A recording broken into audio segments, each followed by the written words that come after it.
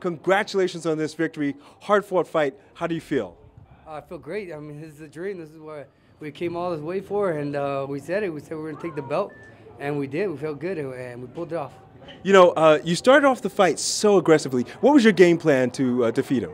Well, you know, I just wanted to see how he was coming out, but uh, like I told the fans before, I wanted to impress. You know, so I wanted to be aggressive at times, but uh, that's what I felt we did. We, we hurt him a couple times, um, but um, he was he was tough. You know, he kept backing away. He was tall, so it was hard to get at sometimes. Yeah, I was going to want to ask you about that, about the reach and your defense, because he had the reach, but he couldn't get clean shots on you. Yeah, hey, I'm slippery. I'm uh, I'm not that easy to hit. You know, I've shown that in the past fights.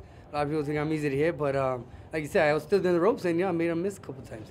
And also that round, uh, round nine, hurt him with the body shot. Did you think you could get a knockout there? Yeah, you know, I was going for it. I heard him. I was going for it, but man, you know, we uh, when we got here for the fight, you know, I, I got I gotten sick. I got a fever, and I couldn't let that ruin my plans. So I said, I don't care. I'm gonna go in there, and so my energy in there was going up and down. You know, so when I felt hurt, I wanted to attack him, but uh, you know, I ran out of breath, out of air for a while. So I had to take my time again and, and get that, get him hurt later round again. Yeah.